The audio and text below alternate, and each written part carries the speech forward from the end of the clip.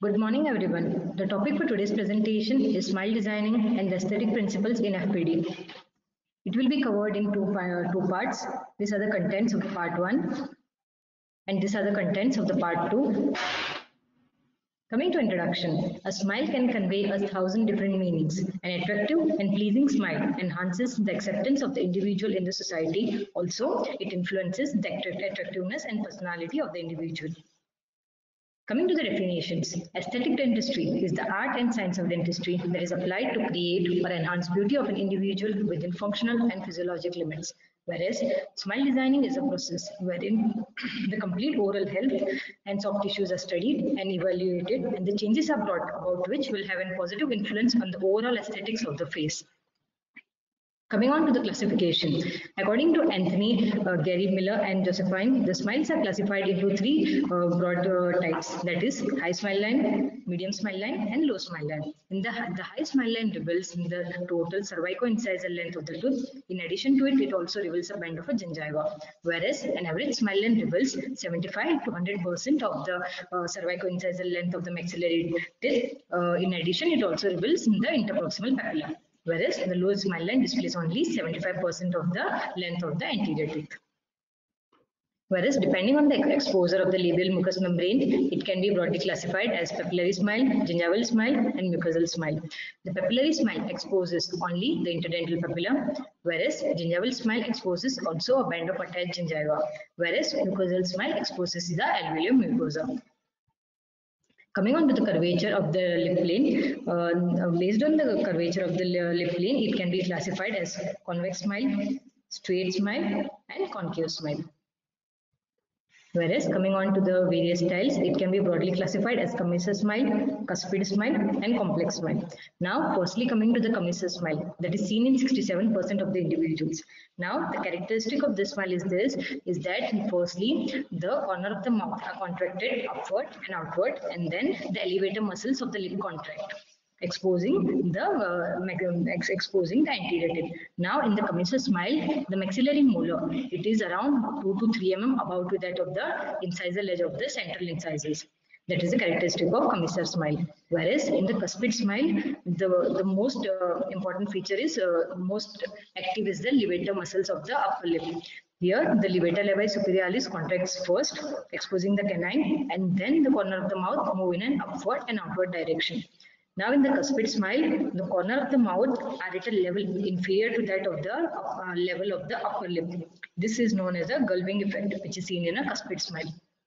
Whereas in the complex smile, the levator muscles of the upper lip, corner of the mouth, and depressor muscles of the lower lip all contract altogether, uh, revealing the uh, maxillary as well as the mandibular teeth. Coming to the type, uh, types of smile, based on the amount of display, it can be broadly classified as type 1 to type 5, where type 1 uh, exposes only the maxillary teeth, whereas type 2 exposes the maxillary teeth and uh, 3 mm of the gingival tissue, whereas type 3 exposes only the mandibular teeth, whereas type 4 exposes the maxillary as well as the mandibular teeth, and type 5 uh, exposes neither the maxillary nor the mandibular teeth.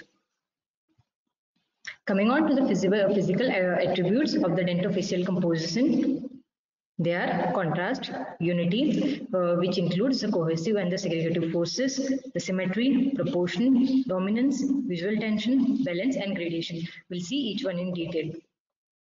Now coming on to the contrast. Contrast is a factor which makes uh, various elements of a composition visible. Um, now contrast can, can be in the terms of colors, lines, or patterns, or textures. Also contrast helps in providing illusion. Now the vertical lines that are present on the tooth, it will accentuate, accentuate the length, whereas the horizontal lines will give an illusion of the increased width. Whereas coming to unity, unity gives different parts of the composition the effect of a whole the unity between different parts of the face and teeth is essential to give the, the entire composition the effect of a oneness.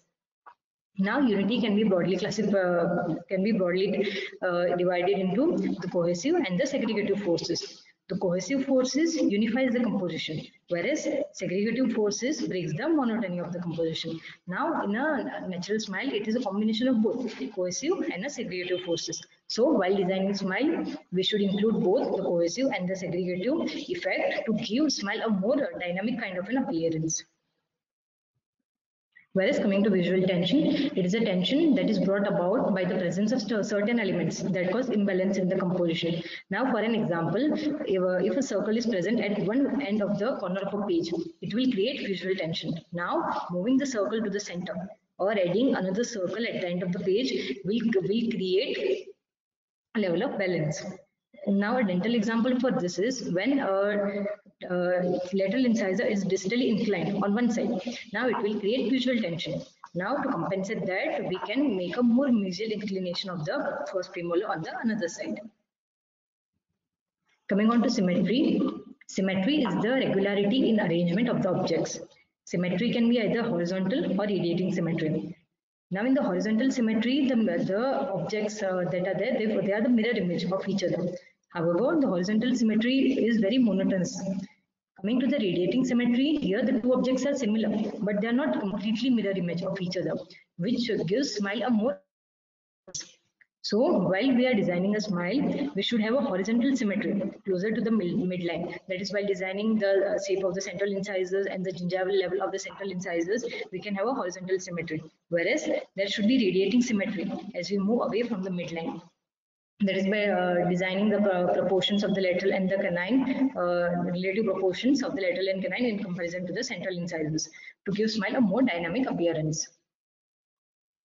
Coming to proportion, proportion is to give a certain mathematical representation of beauty. Now the various proportions uh, that are uh, uh, that are, are golden proportion, pristine proportion, recurrent aesthetic dental proportion, and facial proportions that, that can be either vertical and horizontal. Now we'll see in each one in detail in the later slides. Coming on to dominance. Dominance directs the attention to the more attractive features of the patient's face. It is governed by three factors, that is shape of the teeth, size and color. Now the shape of the teeth gives uh, a appearance of uh, bold and the characteristic appearance, whereas size of the central incisor and canines can be uh, increased to give a dominant appearance. Also, color plays a vital role. Now, as seen in the picture, uh, the two maxillary incisors are exceeding in length as compared to that of the central and the canine, which give them a feature of an individual dominance. Coming to illusions,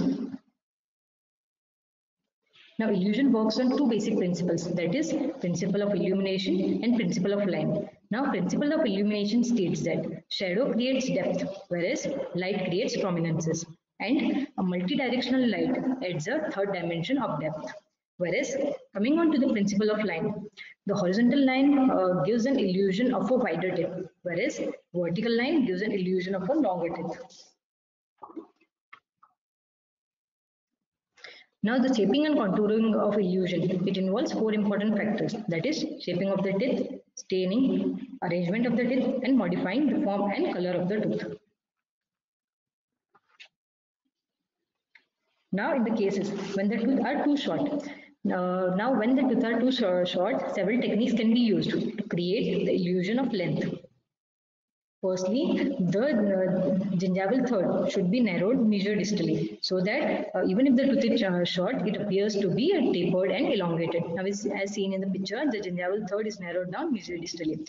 Now, this effect can further be enhanced by making the middle third of the labial surface more flat. It gives an illusion of increased length due to increased in the vertical reflecting surface. Also, the shape of the incisal edge, it can be altered by gently sloping the mesio-incisal and the disto-incisal line angle uh, gingivally from the center. Also, vertical lines present on the tooth can uh, give an illusion of increased length. Now, in the cases when uh, the tooth is too long, now this happens when there is alveolar or the gingival recession. Uh, in these cases, the length of the pontic or the crown should be made to appear shorter. Now for doing so, we uh, increase the vertical contact area. Now the uh, vertical contact area priorly was A. We increase it to B to give a, a long tooth appearance of a decreased length. Also, uh, the incisal third and the cervical third can be given a lingual inclination and we can also decrease the length by notching the center of the incisal edge. Now in cases when the length of the pontic or the crown is too long and it is not uh, possible to create an illusion of a shorter then the gingival tone ceramics can be used in the uh, uh, cervical third area to mask the length. Now, uh, in the cases when the space available is wider than the ideal tooth replacement. Now, uh, when the space available is wider. It can happen when the space was already present prior to the extraction of tooth or in cases of long-standing edentulousness where the space is increased because of the drifting. So in these cases, to decrease the width of the replaced tooth, we can, uh, we can move the contact area more uh, lingually and cervically. Now in this picture, the tooth A is bigger than that of the tooth B, but it uh, appears to be in smaller direction by moving the contact area more uh, cervically and lingually. Also, the mesioincisal and the distoincisal line angles uh, can be rounded off to create an illusion of decreased width. Now, in cases of a canine, the visual center, that is the uh, facial ridge, it can be moved more mesially uh, to create to uh, create an illusion of decreased width. Also, the tip of the canine, if possible, can be moved more easily. Now, when the space available is narrow, then the ideal tooth replacement. Now, in these cases, the contact area can be moved more labially and incisally, whereas, and also the incisal edge can be made as flat and as horizontal as possible. Now, in the cases when the maxillary central incisors are involved, we can rotate the distal aspects more labially. Now, this will give an uh, uh, bold and characteristic uh, appearance. Whereas uh, in case of a lateral incisor, uh, in uh, when, when, the patient is a female, the mesial aspect of the lateral incisor can be rotated and left buccally to give a soft feminine appearance. Whereas in case of a male, it can be rotated and left lingually to, to give appearance of width and boldness. Now coming on to the components of the dentofacial complex, they can be broadly divided into facial components, dental components, gingival components, and physical components. Coming on to the facial components, there are four references, that is horizontal references, vertical references, sagittal references, and phonetic references. Coming on to the horizontal references, the horizontal references are three, that is the interpupillary line, the commissure line, and the ophriac line.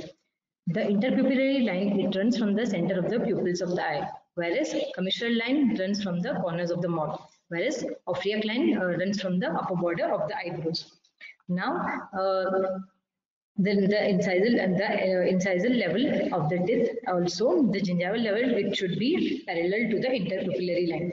Now this helps in analyzing any asymmetry present. Now in this case the gingival levels they are parallel to the interpupillary line. Whereas in this case the gingival levels are not parallel to the interpupillary line which shows canting of the maxilla. Now uh, a minimal degree of canting some degree is can be corrected by the gingival contouring However, if the canting is more, it requires surgical correction. That is coming on to the vertical references. For the, the vertical references are two, that is the facial midline and the dental midline. The facial midline passes through the center of the glabella, tip of the nose, philtrum, and the tip of the chin. Uh, now studies say that the facial midline coincides with the dental midline only in 75 per, in 70% of the individuals. Coming on to the sagittal references, the sagittal references includes the uh, upper and the lower lip support, the aesthetic line and the occlusal plane. Now the contour of the upper and the lower lip uh, help in determining the position of the anterior tip. Whereas aesthetic line, it is an imaginary line connecting the tip of the nose to the most prominent part of the chin. Now, in ideal case scenario, the maxillary lip is 4 mm behind the aesthetic line, whereas the mandibular lip is 2 mm behind the aesthetic line. Also, the occlusal plane should be analyzed. It should be parallel to the interpupillary line. Coming on to the phonetic references. The phonetic references, we have F and V sounds, M sound, and the S and the Z sounds. Now, when pronouncing sounds like for and wo, the incisal edge of the uh, upper anterior teeth touches the vermilion border of the lower lip. Whereas when sounds like m are pronounced, uh, the patient is asked to sit in an upright position and pronounce sounds uh, starting from m. In that, the, uh, lips are in a rest position, which helps to evaluate the position of the incisal edge at rest. Whereas when sounds like ch, so, are pronounced, it helps in evaluating the Silverman's closest speaking space Coming on to the facial proportions, uh, horizontally the face is divided into three equal thirds and vertically into five equal halves. Uh, horizontally, it is divided into three parts from the lines uh, beginning from the uh, upper hairline, supraorbital ridge, tip of the nose, and tip of the chin. These four lines divided into three equal halves.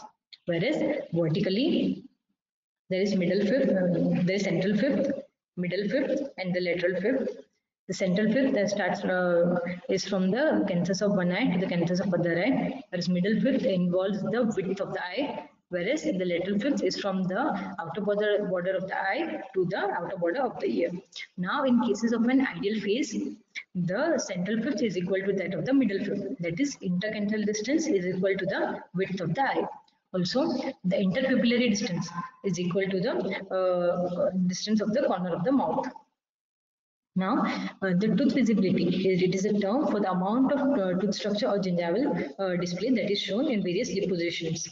The average maxillary incisal display at rest when the lips are at rest is 1.91 mm in male uh, and uh, 3.4 mm in female. Coming on to the dentofacial composition, the constituents of this element are the oral orifice, the lips and the teeth. It involves uh, two positions that is the static muscular position and the dynamic muscular position. In the static muscular position, four factors are involved. That is the lip length, age, race, and sex. Whereas in the dynamic muscular position, it is influenced by the contraction of the facial muscles, shape and thickness of the teeth, and the skeletal makeup of the individual. Now, what is the uh, LARS factor? That is the lip length, age, race, and sex. Uh, lip length, uh, it also helps in determining the position of the incisal edge. Coming on to the age, uh, age, age helps also determines the amount of the display. Now, in an aged individual, the display of the lower teeth is more. Whereas in case of a race, uh, it, studies have demonstrated that the black people show less amount of teeth as compared to that of the Caucasians. Whereas females demonstrate uh, uh, two, uh, two-third more teeth as compared to that of the males.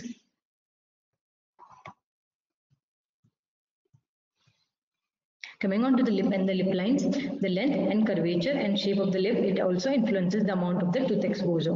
The patients with short upper lips and younger patients display generally more maxillary tooth structure. Coming on to the lip line, they are broadly classified into three groups. That is low lip line, medium lip line, and high lip line. The low lip line covers the gingiva and a considerable portion of anterior teeth. Now, in cases of a low lip line, there is usually no incisal display when the lips are at rest uh, when the patient smells completely, there might be 3 to 4 mm of display in cases of a low lip line. Whereas in cases of a medium lip line, at rest, uh, there is display of 1 to 3 mm of the incisal edges. Whereas in full smile, the uh, total uh, length of the teeth in addition interdental papilla is also visible. Whereas in case of a high lip line, the entire cervico-incisal length in addition 4 to 5 mm of the gingiva is also exposed. Now coming on to the coming on to the various treatments. In cases of low lip line, to modify uh, low lip line, the visibility of the teeth can be enhanced by modifying the smile. Uh, for that, it might be necessary. It might be necessary to lengthen the crowns of uh, if the crown root ratio and the occlusion permit. Now, the median lip line is the most preferred. The treatment for the high lip line is limited. If any uh, gingival asymmetry is present, it should be carefully evaluated uh, and uh, should be treated prior to any aesthetic treatment planning.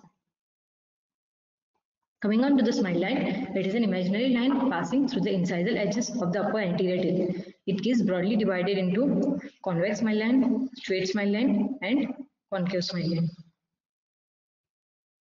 Coming on to the dental components, the dental components are dental midline, tooth dimensions, symmetry, axial inclination, incisal edge position, interdental contact area, and the interdental embrasures.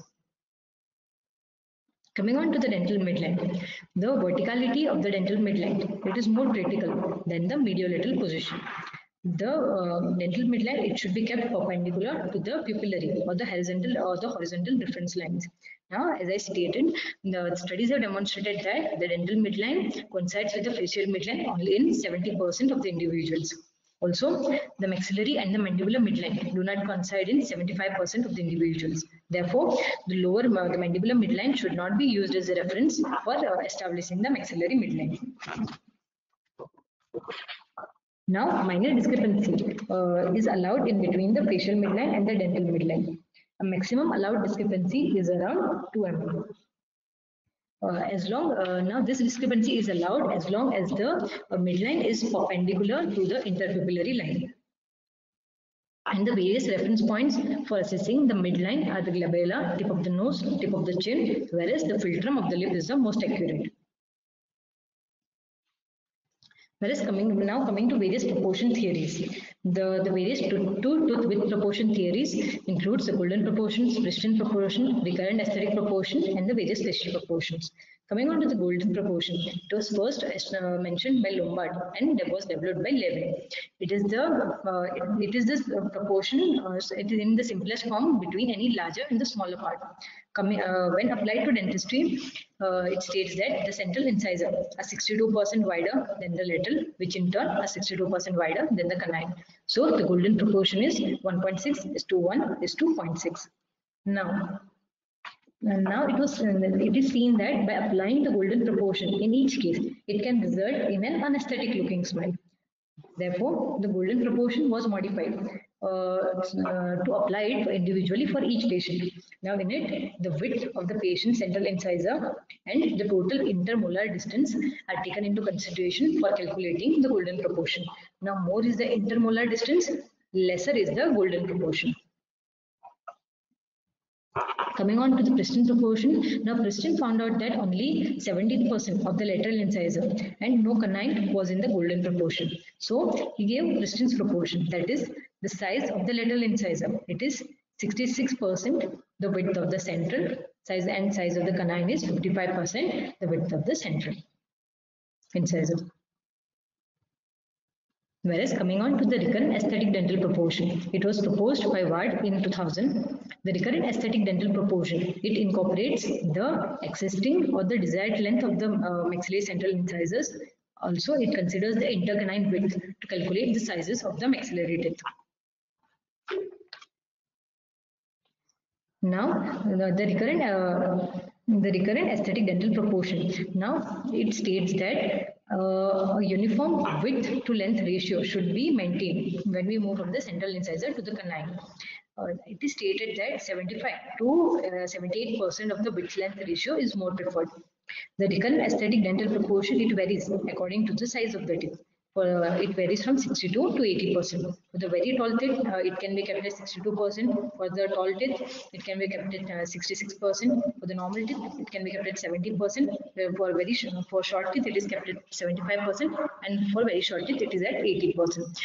The recurrent aesthetic proportion for the tall sized teeth. Uh, for the very tall sized uh, maxillary teeth is equal to the golden proportion that is 62 percent. Now the example for the recurrent aesthetic proportion. Uh, now this picture shows the normal length teeth representing uh, uh, the 70% recurrent aesthetic proportion. This picture shows short teeth, very short teeth, demonstrating 80% recurrent aesthetic proportion, whereas this picture shows the golden proportion, that is 62% recurrent aesthetic proportion for the very tall teeth. Coming on to the proportion determined by the facial form. Now, Hall proposed that uh, the typical form concept, in which he classified the teeth into either ovoid, tapering, and the square form. Whereas various biometric uh, stated that the width of the central incisor, it is 1 by 16, the bizygomatic width. He also stated that the outline of the maxillary incisor, it uh, closely resembles the outline of the face. However, this theory was challenged by Frush and Fischer, which uh, introduced the dentogeny concept. The dentogeny concept is governed by the SPF factor, that is, the sex, personality, and age of an individual. Now coming on to the first uh, first sex, in female, the incisal edges are kept more uh, rounded and the uh, inclination is, uh, is comparatively less, whereas in males, the incisal edges less rounded. Coming on to the coming on to the age, the, in the young teeth, uh, the incisal edges are not worn, and also the incisal embrasures are very well defined. Whereas the aged individuals, um, there is wear of the uh, incisal embrasures also. The amount of the to display is less. Whereas coming on to the personality, uh, in cases of a canine, for a person with a vigorous personality, it can be kept more pointed uh, and the cusp tip can be kept more sharp. Whereas in ca case of a person with a soft personality, the cusp tip can be kept a bit rounded and short. Coming on to the proportion determined by the dentist and the patient preference, uh, Brisman evaluated that mostly the patients and the dentist preferred uh, the width to length ratio of uh, 0.75 to 0.8 and the 70% recurrent aesthetic proportion. Now, a study, uh, study was done to evaluate the presence, presence of golden ratio in the maxillary anterior teeth and its significance in the aesthetic smiles.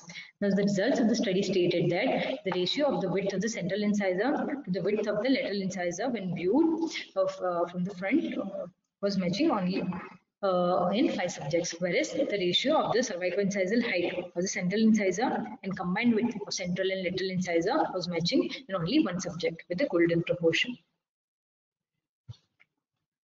Therefore, to conclude, the golden proportion was found to exist only in a small percentage of individuals with an aesthetic smile. And the standardization of aesthetics by the ratios and proportions um, might not be helpful in every, uh, it should not be idealized in every case scenario and should be calculated accordingly. Now another study uh, evaluated the golden proportion, recurrent aesthetic dental proportion and Bristol uh, proportion, the prevalence among the local population. The results stated that the golden proportion existed for 1.1% uh, of the participants, whereas recurrent aesthetic proportion exhibited for 5.3% of the participants, and the Preston's proportion was seen for 2.4% of the participants on, on the left side and 5.3% for the right side. When combined, the Preston's proportion did not exist for any of the participants when combined together. Therefore, the prevalence of the recurrent aesthetic dental proportion was, uh, when evaluated, more, was more, uh, as followed by the golden proportion, whereas the Preston's proportion was not seen in the participants with aesthetically pleasing smile. Now coming on to the symmetry. Um, the rules of the symmetry are that the dental midline should be kept straight. Also, the smile line should follow the convexity of the lower lip. The central incisors, that is the, uh, the horizontal symmetry should be maintained uh, in the size of the central incisor and also in the gingival margin. Also, the gingival the incisal embrasures gradually deepen from the central incisors to the canine. And the mesial inclinations are more pleasing as compared to that of the distal inclinations. Coming on to the axial inclination, in an aesthetic smile, the direction of the anterior teeth and the long axis show a gradual progression. As seen, there is a gradual increase in the axial uh, inclination as you move from the central incisor to the canine. Now, the deviation beyond a certain degree is uh, can cause an unattractive smile. Coming on to the incisal edge position. The maxillary incisal edge position is the most important determinant uh, in, in uh, establishing a smile as it serves as a reference point to determine the tooth proportion and also the, relate, uh, the relative proportions of the adjacent teeth. Now the parameters used to evaluate the incisal edge position are first the degree of the tooth display, phonetics and the patient info. Now coming on to first the degree, degree of tooth, uh, tooth display it states that uh, when the when the lips are relaxed and the mouth is slightly open, around 3 to 3.5 mm of the incisal third of the maxillary incisors should be visible. Whereas coming on to phonetics, now uh, when the patient is asked is uh, seated in an upright position and is asked to repeatedly pronounce words starting from M, the uh, the lips gently close. After the pronunciation of the words, the lips are in a rest position, which helps us to evaluate the position of the incisal edge at rest. Also, the patient desires should be kept in consideration uh, the, the aesthetic demands of the patient while establishing the incisal edge. Whereas, coming on to the interdental contact area and uh, contact point, the interproximal contact area, it is defined as a broad zone in which two adjacent teeth touch. It follows 50 is to 40 is to 30 rule when we move from the central incisor towards the canine.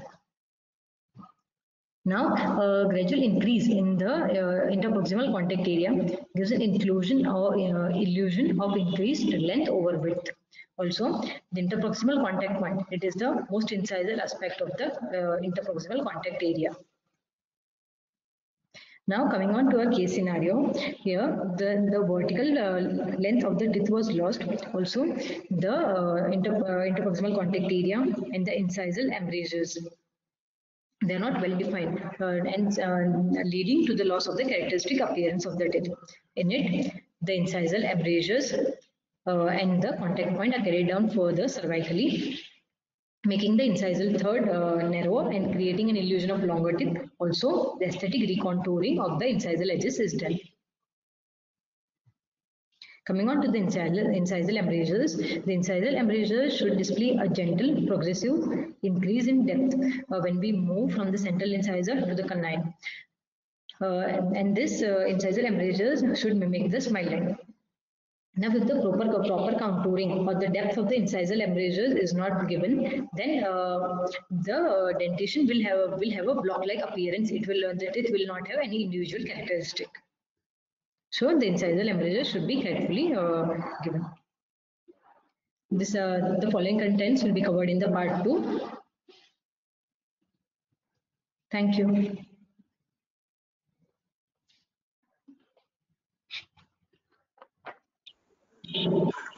Thank you, Rutvi. It was a wonderful presentation. And uh, hope in second part we'll going to cover the maximum case scenarios as well.